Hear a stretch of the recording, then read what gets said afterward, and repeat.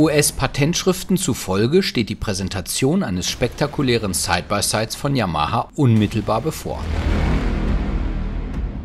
Befeuert vom 113 PS starken 998 Kubik Dreizylinder-Triebwerk aus Yamahas Motorschlitten steht der RZR-Fraktion Furcht und Schrecken ins Haus. Schön zu erkennen auf den Patentzeichnungen die Lage des längs angeordneten Mittelmotors und ein klassischer Gangschaltungshebel das Yamaha Side-by-Side verfügt also nicht über eine CVT-Variomatik, sondern über ein mechanisch geschaltetes Fünfganggetriebe, welches getrennt vom Motor zwischen Fahrer und Beifahrersitz angeordnet ist.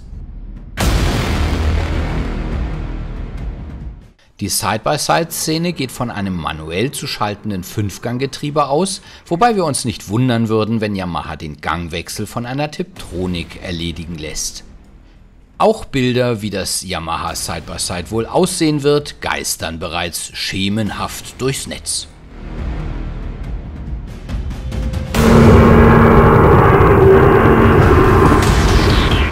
Als Termin für die offizielle Enthüllung hat Yamaha den 1. September 2015 angekündigt. Und was den Namen des giftigen Yamaha Side-by-Sides betrifft, tippen wir mal heiß auf Banshee.